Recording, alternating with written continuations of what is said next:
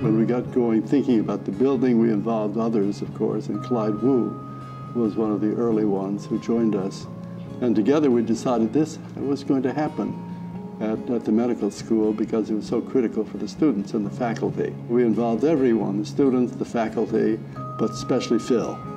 I was also able to husband uh, this building through the process uh, because I recognized what a quality building it, it is and will be. And it's got all the love and care of the brilliance of Roy and his family. This is a great example of how a, a, truly great university can be even better with the involvement of uh, major philanthropists and donors who care about the institution.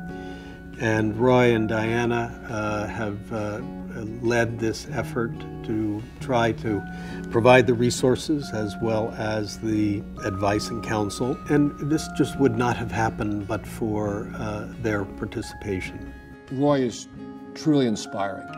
He has the highest standards and he makes us all want to reach even higher together with him. I wish we could clone Roy Vagelos. He is the salt of the earth. Students love meeting with him and I think Roy enjoys meeting with the students. He's a model, an icon of one who is fully committed to making this the best place it can possibly be for everybody. We love Roy. For me, Roy and Diana Vagelos are really the heart of this building. At every meeting, they ask questions. What would the students think?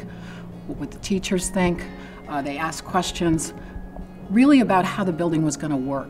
Roy, from the beginning of the project, has been a collaborator. His philosophy um, has everything to do with what this building is expressing and the generosity of thought and space and education is very much embodied in this building. Here at the Medical Center, we're fortunate to have a number of, of very generous donors who have really made a difference over time.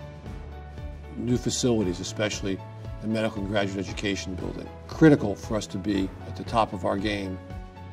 Both of these families recognize what it takes to be great, and they've helped make us even greater.